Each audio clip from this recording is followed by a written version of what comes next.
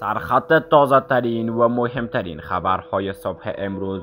وزیر خارجه پاکستان ثبات افغانستان پس از حضور طالبان بهبود یافته است. نارندرا مودی هیچ کشوری از وضعیت افغانستان سوء استفاده نکند. با نام خدا و با تقدیم سلام به مجموع خبری چینل یوتیوب وان سمارت خوش آمدین. خواهش می‌کنیم تا آخر این ویدیو با ما بوده و نیز channel یوتیوب ما را subscribe نمایید تا از ویدیوهای جدید و روزانه ما با خبر شوید. نرندرا مودی هیچ کشوری از وضعیت افغانستان سوء استفاده نکند.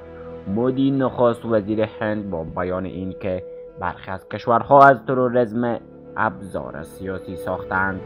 گفت که هند و جهان باید مطمئن شوند که از موقعیت افغانستان برای منافع کشورهای خاص استفاده نمی شود او این سخنان را امروز شنبه سیوم میزان در 76 مین اجلاس عمومی سازمان ملل متحد بیان کرد.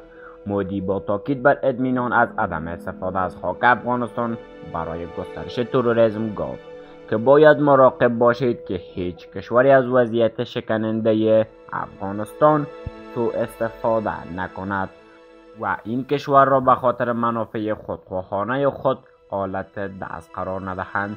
او با اشاره به تحویلی به پاکستان گفت که برخی کشورها برای منافع خود در تلاش گسترش تروریسم است.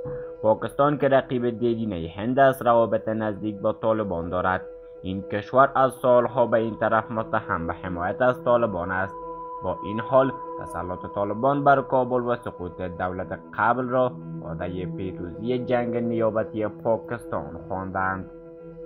همچنین هند که روابط راهبردی با دولت قبل افغانستان برقرار کرده بود.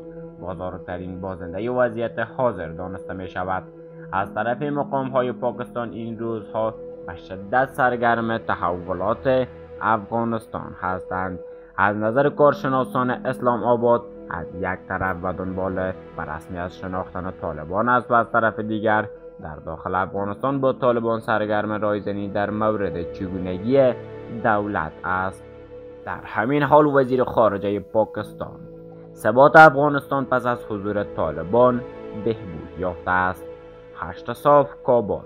شاه محمود قریشی وزیر خارجه پاکستان می‌گوید که با خروج نیروهای بین المللی و حضور طالبان در افغانستان ثبات در این کشور بهبود یافته است. شاه محمود قریشی روز شنبه سیوم میزان در گفتگو با روزنامه نیویورک تایمز گفت که دست کم تا حال هیچ نشانه از جنگ داخلی در افغانستان دیده نمی شود او تصریح کرد که با وجود تغییر وضعیت در افغانستان پاکستان شاهد حجوم مهاجران افغان به مرزها نبوده است. در همین حال قریشی هشدار داد که بحران انسانی و اقتصادی در افغانستان همچنان یک تهدید واقعی است.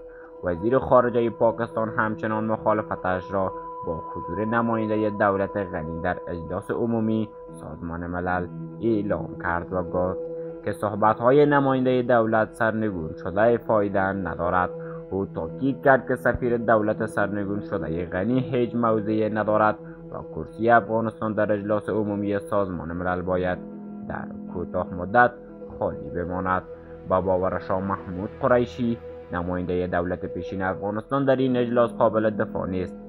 زیرا با فرار غنی حکومت او نیز از بین رفته است. با این حال شاه محمود قریشی درخواست طالبان برای حضور نماینده دولت سرپرستشان در این اجلاس را نیز تایید نکرده و گفت که کشورهای عضو باید منتظر موجه بودن این درخواست بمانند. طالبان بیشتر از سازمان ملل خواسته بودند که اجازه دهد سهیل شاهین به عنوان سفیر حکومت سرپرست طالبان در این اجلاس اشتراک کند. با این حال پس از رایزنی های مشخص شد که غلام محمد اسحاقزی در نشست این سازمان که روز دوشنبه انجام میزان برگزار می شود اشتراک و سخنرانی می کند گفتنی است که غلام محمد اسحاقزی در جوزای سال روان به عنوان نماینده دائمی افغانستان در سازمان ملل انتخاب شد. او پس از سقوط کابل درخواستی را به آنتونیو گدریش دبیر کل عمومی سازمان ملل متحد فرستاد از این سازمان خواست که وی را در سمتش ابقا کند. در همین حال گزارشنامه افغانستان رزاق مامون در روی وبلاگ خود چنین نگاشته است. اندر باب سگ وفادار صالح محمد ریگستانی گویند شیخی در مغاره کوه رسم تقوا به جامعه آورد. تا تغییر بر پرهیزگاریش میان مردم و ریکاری نشود. زیرا کوه قریه بود که در آن کبرها زندگی داشتند. خداوند جل جلاله هر شام برای این شیخ سجاد در نشین در مغاره کوه یک دانه انار مهیا و در قابش می نهاد. و شیخ تارک دنیا از انار ارتزاق می کرد و تقوا می نمود پس از سالیان چند یک شامگاهی برایش اناری نرسید. شیخ بنا به عادت به حیرت اندرگشت و انتظار پیشه کرد. فردا شام و شام دوم نیز انار در قاب شیخ نهادن نشد.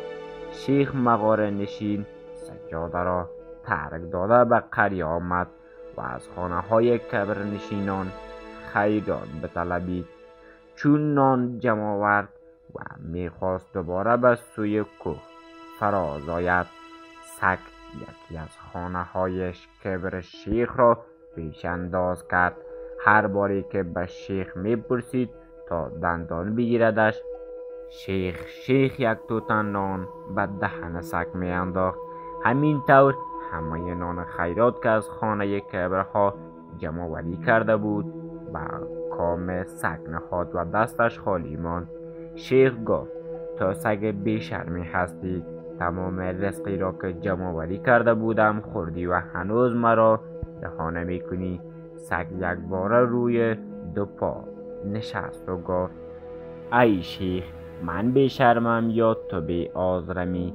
سالهاست پشت خانه کبری نشستم. گاهی گرسنه مانم گاهی مرا از یاد می‌برد. روزها تشنه مانم ولی عارم می آید پشت خانه دیگری بروم و نانش بخورم. با تشکر که تا آخرین ویدیو با ما بودید. برای مشاهده ویدیو های بیشتر channel یوتیوب One Smart را subscribe نمایید تا از ویدیوهای جدید و روزانه ما با خبر شوید. برای حمایت بیشتر کانال ما ویدیوهای ما را like subscribe و کامنت نمایید تا ما بتوانیم برای شما بهترین و جدیدترین ویدیوهای روز را به نشر بگذاریم. اوقات خوش داشته باشید الله بزرگ یار و مددگار شما باشد.